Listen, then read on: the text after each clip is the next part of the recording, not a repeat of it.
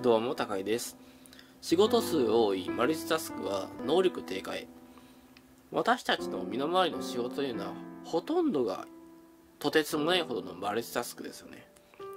そのマルチタスクの有害性を知っている人は少ない。でもこの本にはそのマルチタスクの有害性について示されているので音読していきます。単純な物事でも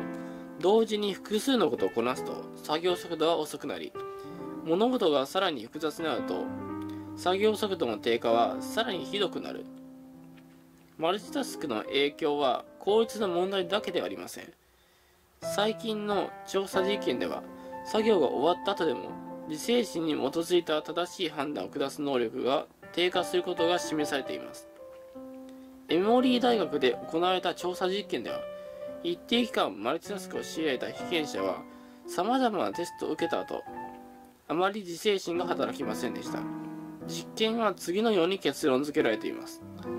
実験結果によると変化する要求を受け入れるための思考の切り替えは利点とその欠点とを比較検討されるべきである。5つの実験結果によって思考の切り替えが精神的負担となり自己調整能力が抑制されることが証明されている。したがって思考を選択限定することは決断事項を減らし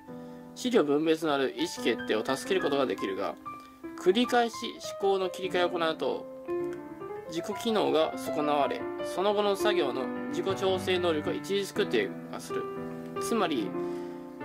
皆さんがやってるマルチタスクってすっごい悪影響を及ぼしてるけどその代わりにモノタスクで仕事をするとすごい効率が良くなるんですよね。そのことを考え直す上でも了承したのでぜひとも読んでみてください。チャンネル登録お願いします。画面の右上のボタンを押してください。それでは。